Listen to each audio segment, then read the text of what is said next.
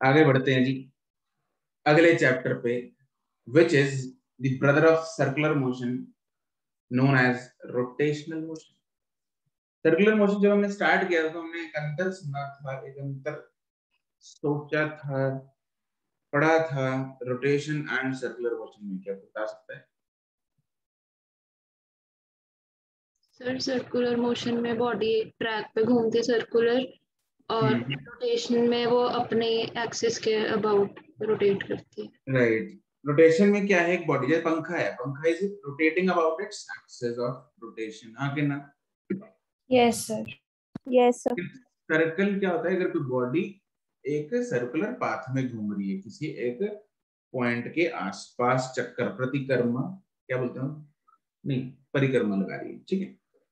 मैंने एग्ज़ाम ठीक है तो that is what circular motion rotation क्या है? एक अपने एक्सिस के अबाउट जैसे पंखा घूमता है टायर घूमता है विंड मिल घूमती है तो ये सब क्या है? रोटेशनल मोशन है। सिंपल टू अंडरस्टैंड तो हमने अभी तक कितनी मोशंस कर ली हमने देखो सबसे पहले चैप्टर में हमने कौन सी मोशन की थी? One D one D Motion that is linear motion linear उसको ट्रांसलेटरी मोशन भी बोल देते हैं वन डी मोशन क्या बोल देते हैं? ट्रांसलेटरी ट्रांसलेटरी मोशन ठीक है? लास्ट चैप्टर में जो प्रीवियस चैप्टर था सर्कुलर मोशन उसमें हमने जो किया था दैट वाज सर्कुलर मोशन उसमें हाँ अब इसमें देखो, इस चैप्टर में हम करने वाले हैं दो तरह के मोशंस और one is rotational motion rotational motion क्या है कि बॉडी सिर्फ़ अपने एक्सेस पे घूम रही है, जैसे फ़ैन हो गया। और लास्ट में, इसी चैप्टर के लास्ट में हम करेंगे दोनों का कंबाइंड मतलब ट्रांसलेशन और रोटेशन का कॉम्बिनेशन जिसको हम बोलते हैं रोलिंग क्या बोलते हैं? रोलिंग जैसे मान लो, एक प्लास्टिक बॉल है, जिसे क्रिकेट खेलते हैं बैट बॉल खेलते हैं तो प्लास्टिक बॉल है, अपने हाथ में पकड़ रखी है। हाथ में पकड़ के उसको इस जगह से इस जगह पे लेके आ रहे हैं। मतलब ये बॉल घूम नहीं रही, उसको घिसा के इधर से इधर लेके आ रहे हैं। तो कौन सा मोशन हुआ, बता सकते हो? ट्रांसलेशनल जैसे ट्रांसलेशन मोशन है ना? जैसे गाड़ी चल रही है, मान लो बहुत तेज स्पीड से, एकदम से ब्रेक लगा दी, उसके टायर घूमना बंद कर दिए, लेकिन गाड़ी स्किड मार दी। ब्रेक लगाए टायर घूमे नहीं बट गाड़ी स्किड मार दी स्लिप मार दी। ठीक है? मान लो बर्फ़ थी या कुछ, उधर पानी था तो स्लिप मार गई, कीचड़ था। तो उसमें टायर्स घूमे नहीं तो टायर्स बिना घूमे आगे चले गए तो कौन सा मोशन है? ट्रांसलेशनल। ट्रांसलेशनल। मोशन बिल्कुल सही बात है। ठीक है? अब गाड़ी को जब पंचर लगाते हैं गाड़ी तो उसको जैक पे लगा के टायर निकालते हैं। जैक पता है? Yes yes sir. लड़कियों को पता है? Yes sir yes sir. तो वो जैसे जैक लगा के इधर टायर को ऐसे घुमाया ना तो ये सिर्फ़ अपने एक्सिस पे घूम रहा है तो ये कौन सा मोशन हुआ? रोटेशनल ये रोटेशनल हुआ। लेकिन जब गाड़ी चल रही है तो टायर आगे भी जा रहा है और घूम भी रहा है वो कौन सा मोशन हुआ?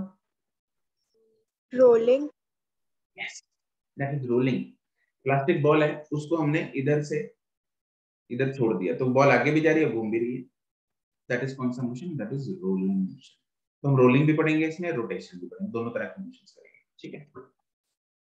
तो ये है टाइप्स ऑफ़ मोशन का एक बार बस ये लिख लो। Types of motion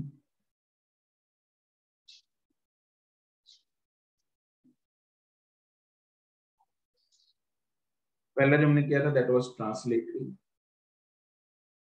translation motion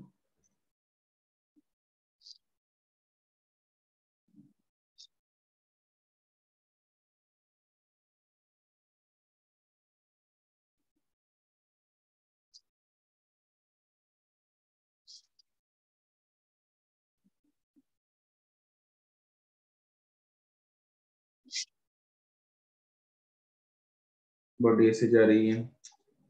body ऐसे गिर रही है। ये सब क्या है? ट्रांसलेटरी मोशन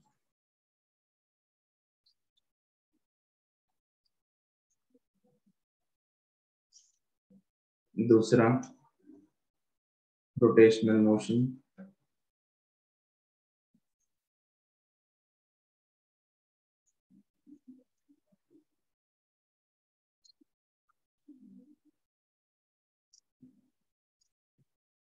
रोटेशन में बॉडी अपने एक्सिस पे घूम रही है।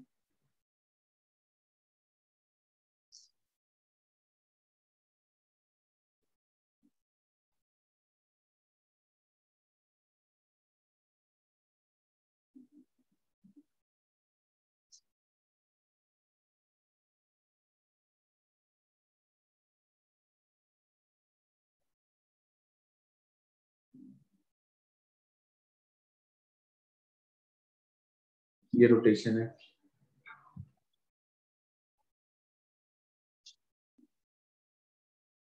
तीसरा है कंबाइंड मोशन दोनों का।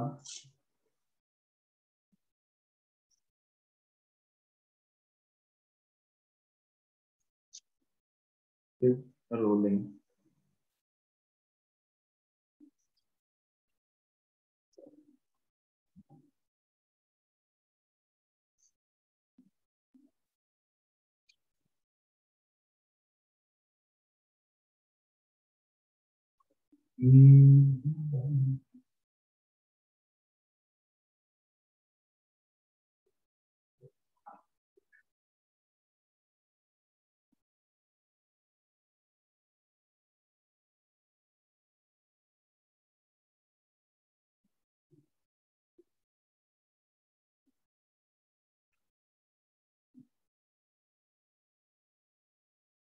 बॉडी आगे भी जा रही है और घूम भी रही है। दिस इज़ रोलिंग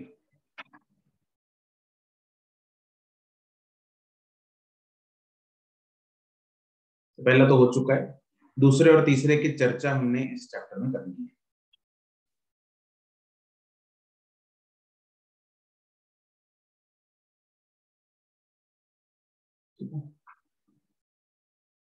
जैसे वो नहीं होता? हम्म, कुएँ में से पानी निकालते हैं उस पर ऊपर पुली लगी होती है ना? Yes sir yes sir yes वो पुली घूमती है? Yes sir sir yes yes sir वो कौन सा रोटेशन होगा? ठीक है? यस सर वो भी करेंगे पानी भी निकाल लेंगे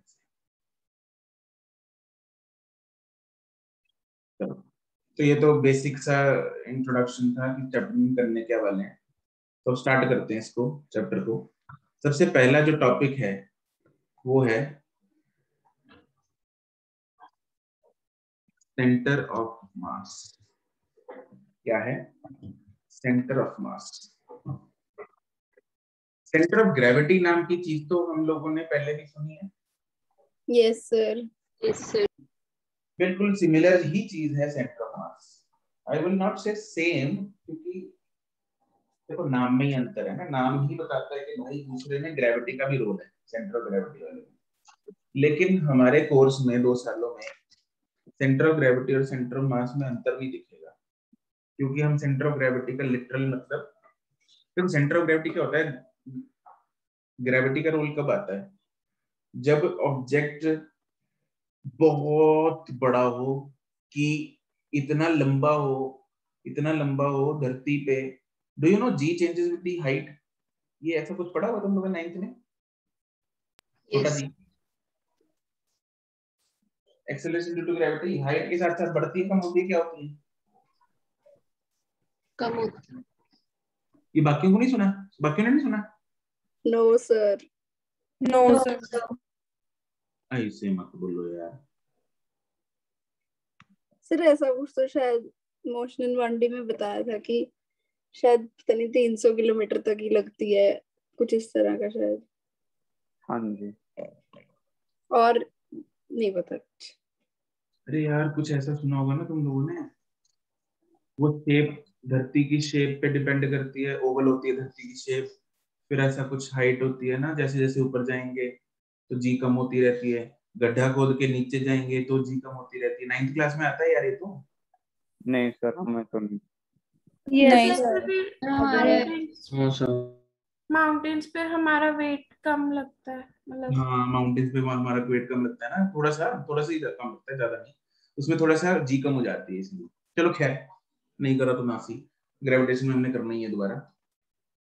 चलो फ़िलहाल के लिए फिर for the time being use this fact के अपना जी जो है वो it is it varies with the height okay तो अगर कोई ये धरती है मान लो बहुत ही बड़ा ऑब्जेक्ट है तो उसका जी जो है चेंज हो रहा है, इसलिए सेंटर ऑफ़ ग्रेविटी में अंतर आएगा। बट हम इतनी बड़ी बड़ी बिल्डिंग्स 500 600 किलोमीटर, हज़ार किलोमीटर की बिल्डिंग थोड़ी ऐसे कोई किसी बात ही नहीं करेंगे ऐसे पूरे कोर्स में। तो इसलिए अपने को सेंटर ऑफ़ ग्रेविटी और सेंटर ऑफ़ मास अलग अलग से कोई मतलब ही नहीं है। ओके तो फॉर द टाइमिंग जो हम सेंटर ऑफ़ ग्रेविटी हम लेते थे ना, कि अगर कोई बॉडी है यूनिफॉर्मली डिस्ट्रीब्यूटेड मास है तो उसकी सेंटर ऑफ़ ग्रेविटी सेंटर पे होगी। एक चेन लटक रही है, उसकी सेंटर ऑफ़ ग्रेविटी सेंटर पे होगी। है ना? तो वही सेंटर ऑफ़ मास है। ये रॉड है उसका सेंटर मास कहाँ होगा? सेंटर में। ये चेन है उसका सेंटर मास कहाँ होगा? सेंटर में। तो वही है। ठीक है? तो चीज़ वही है कि where the where whole of the mass can be concentrated उस चीज़ को बोलते हैं क्या? Centre of mass sir yes sir जो आप बिल्डिंग बोल रहे थे वो आप 500 मीटर्स बोल रहे थे या किलोमीटर किलोमीटर बोल रहा हूँ है। किलोमीटर्स में जाके ही फ़र्क पड़ता है जी में। मीटर्स में तो फ़र्क ही नहीं पड़ता। ठीक है। तो इतने बड़े बड़े ऑब्जेक्ट्स हम बात ही नहीं करते। तो इसलिए अपने को सेंटर ऑफ़ ग्रेविटी और सेंटर ऑफ़ मास हमारे लिए एक ही बात है। चलो सेंटर ऑफ़ मास हेडिंग बनाएँगे डेफिनेशन लिखेंगे इसकी पहले। It is the point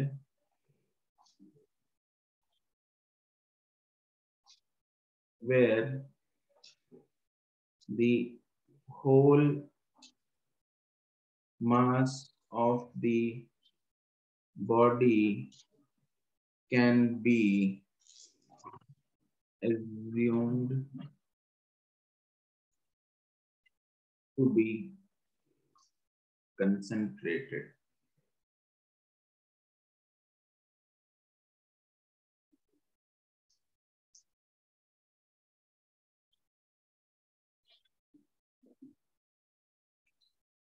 हम ना दो चीज़ों के लिए सेंटर मास निकाल लेंगे एक, जैसे अभी हम रॉड की बात करें रॉड है है ना? वो उसका सेंटर मास कहाँ होगा? एक डिस्क है, एक प्लेट है, उसका सेंटर मास कहाँ होगा? है ना? एक तो ऐसे कंटिन्यूस मास डिस्ट्रीब्यूशन की बात करेंगे।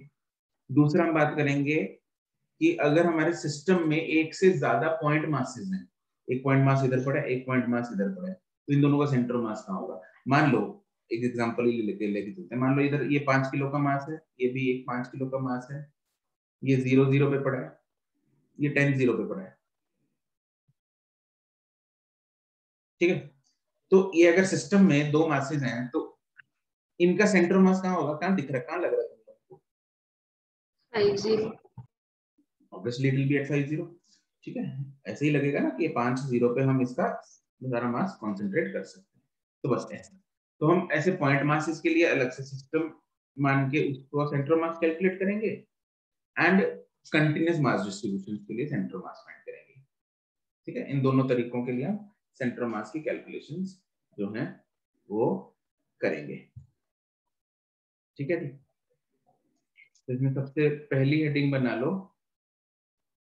डिस्क्रीट के लिए centre of mass a system of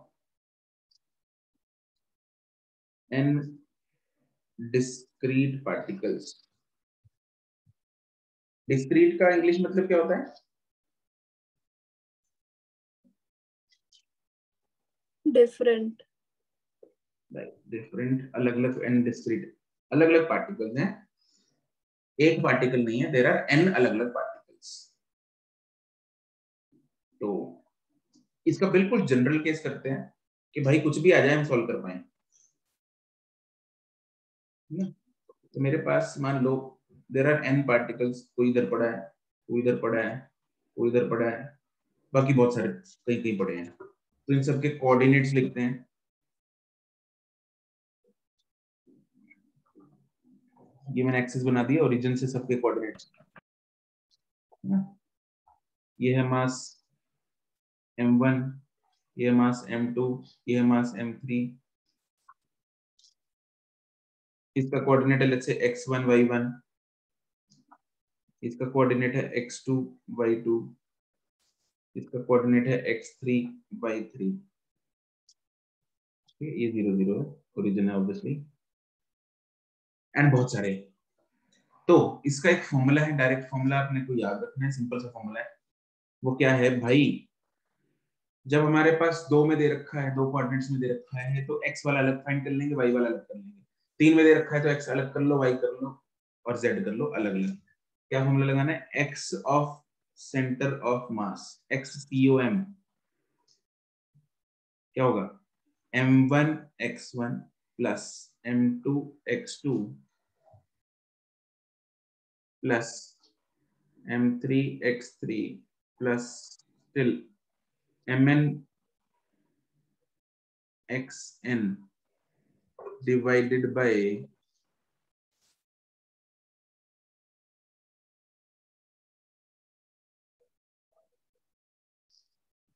m one plus m two plus m three till m n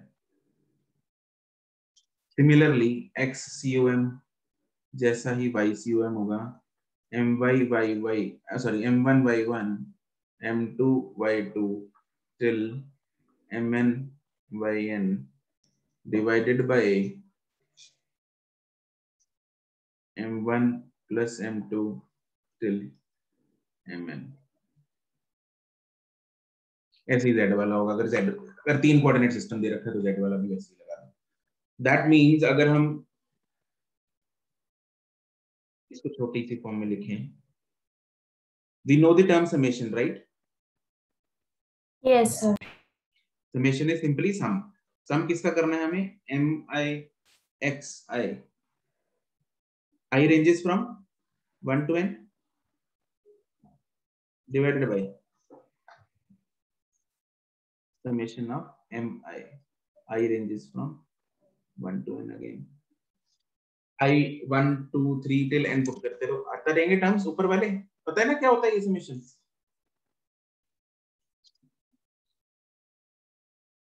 Yes, sir. yes sir m i by i i from 1 to n divided by summation of mi i i from 1 to n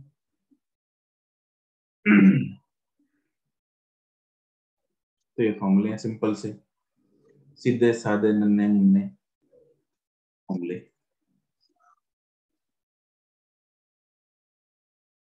should these मेरे को ये वाली form ज़्यादा अच्छी लगती है।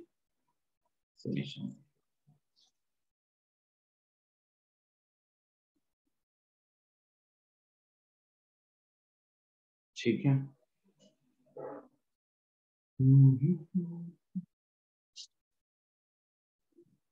Sir एक बार ये आई वाला बता दो दोबारा। अरे आई में इसमें। एक बार आई वन डालेंगे तो एम वन एक्स वन बन गया। सर आई क्या है? आई एक वेरिएबल है कोई भी।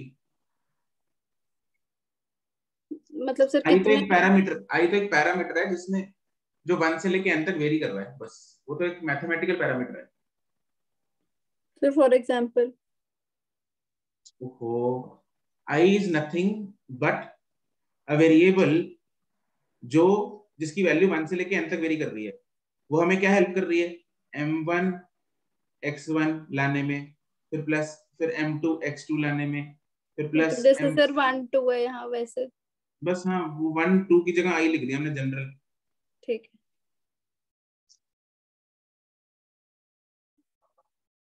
सुना नहीं मुझे लग रहा है ये है ना तुम लोगों ने फिर टेंथ तक मैथ्स में आता है ये तो। ये थोड़ा ही वो गलियाँ ऐसा कुछ हो गया।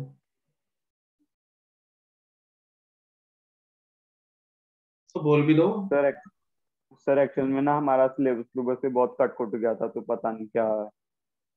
सर नाइन्थ क्लास में मीडियन वगैरह वाले चैप्टर में yes sir stats में आता है। हाँ स्टैट्स में आता है ना ये तो। yes sir. स्टैट्स कट हो गया। तो चलो कोई बात नहीं। चलो ठीक है फिर आज हम यहीं समाप्त करते हैं। इस चैप्टर इस टॉपिक को कंटिन्यू करेंगे अगली कक्षा में। आज के लिए इतना ही। Good bye thank you sir thank you sir thank you sir thank you sir